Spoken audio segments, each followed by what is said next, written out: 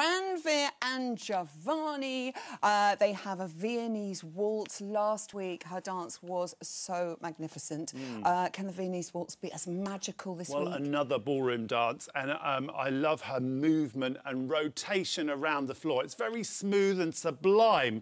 Um, but uh, she does have some foot faults. When she's going forward on the one, she's not doing a heel lead, she's doing a toe lead. So that needs to be eradicated, or else maybe one of the judges will yeah. drop her marks because point, of it. They really will, Absolutely, they? because it, everybody's so strong.